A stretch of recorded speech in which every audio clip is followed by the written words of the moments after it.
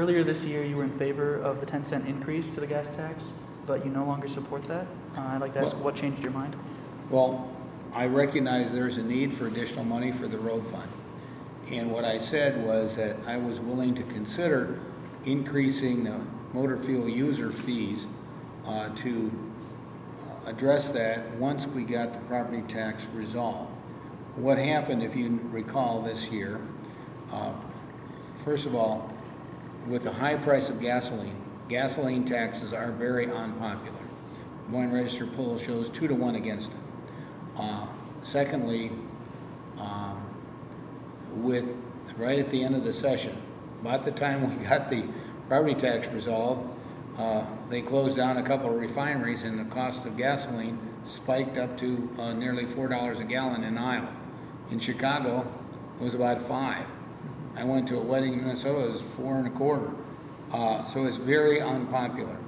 So, and the, and the, and frankly, the legislature couldn't get the votes before they adjourned to get it done this year. So what I suggested after the session, let's, let's, uh, look at some other alternatives. Uh, the other thing is, you, you know, the federal government is uh, mandating much more fuel-efficient vehicles in the future, which means we're gonna see, uh, less money coming in from gasoline as you have more fuel-efficient vehicles.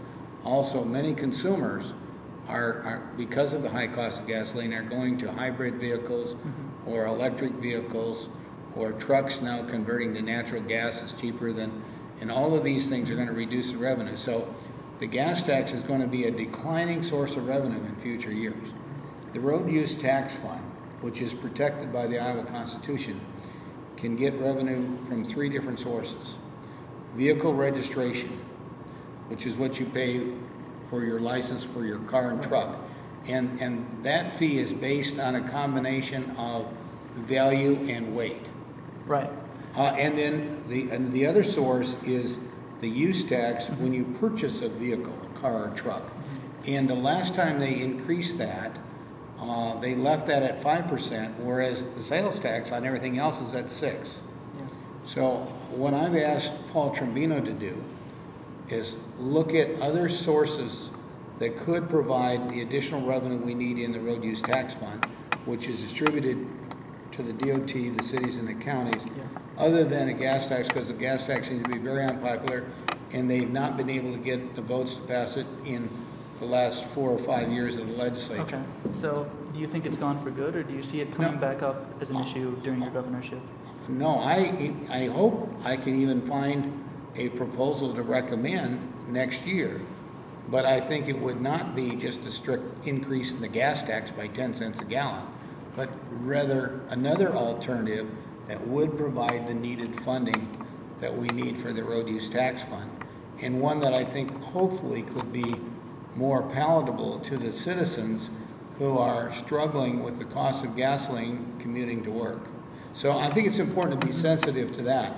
Unlike my predecessor who threatened to veto any increase in the gas tax, I have never done that. But we have not been able to get the votes in the legislature to do it. And I think an increase of ten cents, uh, to a lot of people is just, uh, something that they, they don't want because they already are paying too much for gasoline right now. Okay. Now, we have seen some reduction in gasoline prices uh, in the last, since the legislature went home. Right.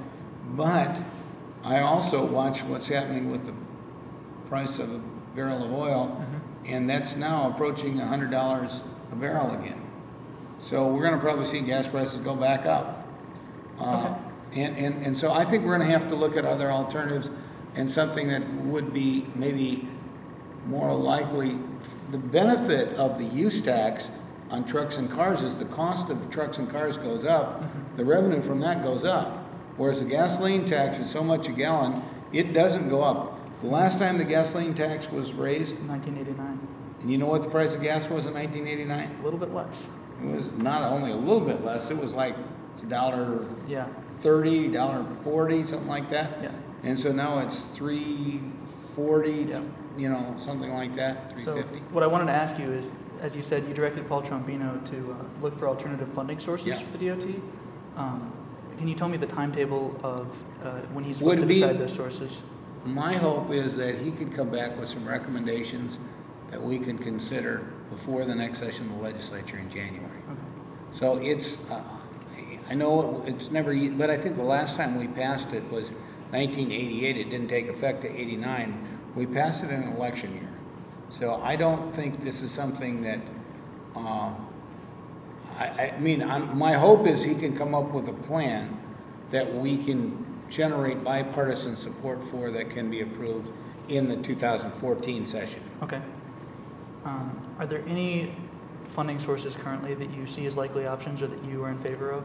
Well, I mentioned one, and that is the use tax and the fact that w- when the sales tax was raised for everything else, they didn't do it on vehicles. Yeah. Now, it's considered a use tax rather than a sales tax, but, and the money is protected and goes into the road use tax fund.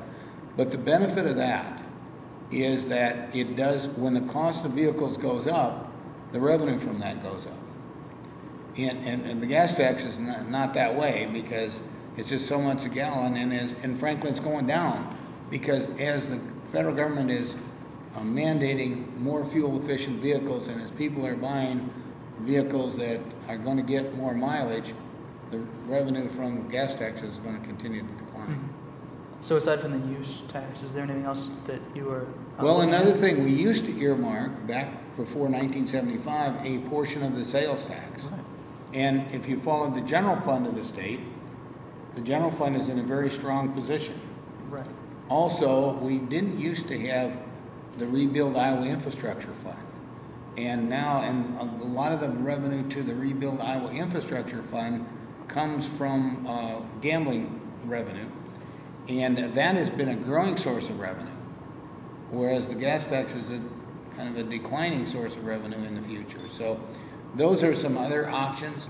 There may be others, uh, and that's why, and Paul is a very creative and um, problem-solving type of individual, and that's why I've asked him, think outside the box. Let's try to come up with something, and maybe something that uh, we won't have to be constantly increased in future years because it's a declining source of revenue like the gas tax, but something that might at least keep up with inflation. So even though the gas tax is uh, a declining source of revenue, it still represents a significant uh, amount of money if it was increased. Is that not worth pursuing? Um, even Well, when, when the public is against it two to one, and, and the legislature hasn't been able to pass it for four years, what I'm doing is acknowledging reality. And that is, it's very difficult to get people in the legislature who are up for election to vote for something that their constituents are opposed to. Because they are elected to represent their constituents. And when you have a vast majority of your constituents, uh, many of whom are struggling because of the financial circumstances, opposed to it, it's, it's a difficult thing to get. Okay. Um, so some other states like Virginia have begun uh, charging an increased fee for hybrids and electric vehicles to um, try to help offset the cost of. That's, that's a possibility to look at. So is that something you're considering at this time? Well, I think that those are, I think we're recognizing the reality of the type of vehicles that are, they're gonna be on the roads in the future. Makes sense, needs to be fair. Uh, and, and none, none of these things will be easy, but, uh, yeah, if that's what Virginia is doing, I think it's certainly something to look at. And I think we're gonna have, and, and also this diesel, uh, if we're gonna see a big transfer from diesel fuel to natural gas, we wanna make sure that people that are running their trucks on natural gas are paying their share. The, the whole idea of the road use tax fund is to have the people that get the benefits of the roads, whether they live in Iowa or not, to pay the cost of, the roads and bridges, to pay the cost of maintaining them. Uh, Okay, and so the needs of the DOT for infrastructure repairs are pretty urgent. Um, the American Society of Civil Engineers has ranked 46% of Iowa's roads at poor or mediocre condition. Um, Roads or bridges? roads. Okay, Um, bridges. About might- 20% of bridges are, um, uh, Are deficient. are deficient, yeah. So what I'm asking is, is there any, are there any plans to um, ramp up repairs to that? And are there any funds to do that in, with? if you look at recent years, we have actually increased the amount of funding significantly. In fact, one of the first things I asked Paul Trombino to do when he came is to identify ways that we could do, reduce administrative costs and have that money go instead for roads. And it, he has been able to identify about forty million dollars on an annual basis that has been redirected towards improvements. He's also, um, changed their priority setting system, uh, to be, I think, better and more efficient in terms of addressing these issues. Now, that doesn't solve the whole problem, but in recent years also, because of the great job that we did in rebuilding after the flood of 2011 along the Missouri River, we were able, and, and FEMA rules required that it had to be rebuilt within six months of the flood in order to get full federal reimbursement. Only that was an unusual flood because the water, this was done because of the release of water by the Corps of Engineers from the dams on the Missouri River. And the flood started in June, it didn't end till September. But our six months didn't start when the water went down in September, it started in June. Okay. So, so we had basically about two months and to rebuild all those roads and bridges. Now, the phenomenal thing is we did. If you ever saw the pictures, Interstate 680 was just annihilated uh, going into the north of Omaha. In, in 34 days, well, first of all, we had this flood that lasts from June to mid-September. Then we had 34 days without rain. The DOT uh, put together a strategy with several contractors, and they worked day and night, and they rebuilt the road in 34 days. And I and the lieutenant governor went to the dedication ceremony of that on December 2nd, and it snowed. So, kind of an unusual thing. But not, they not only did 680, but they rebuilt all the other roads and ridges, and the federal government did come through and 100% reimburse us. So as a result of that and the other savings, we had the biggest road building project, I think, spending we've ever had last year. Well, despite that, uh, Paul Trombino says that the department is still about 215 million short of meeting critical needs. for the future. I Right. understand that. And that's the reason why I think we need to look at all the options and alternatives and how to come up with that and not just say, well, we're gonna try to get the ten percent increase in the gas tax next year because they've been trying to do that for several years and haven't been able to get it done. So I think we're gonna have to come up with a new approach, a new strategy. I do recognize there is a shortfall, two hundred and fifteen million or something in that category. I'm not disputing that. It's just that how do we come up with it and what's the fairest way and something that can gain the support of more people? Right. Um, do you see uh, a plan coming forward with a, what chances of success do you have, see that having in the 2014 session?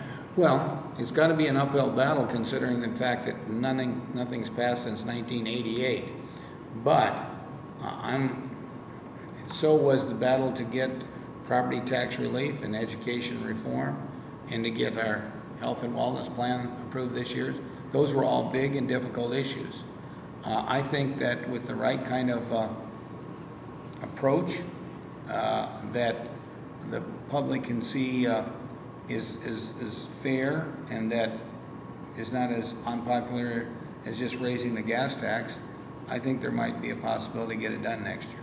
It won't be easy, and it's going to take bipartisan cooperation because we have a split legislature, and it's an election year, and and I and, and a lot of people are afraid uh, to vote for any tax increase in a in an election year. But if it's a user fee, that the people that are going to get the benefits of it are the ones that are going to pay for it, I think it could be more attractive.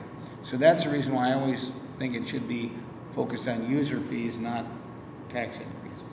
Okay. Um, thank you.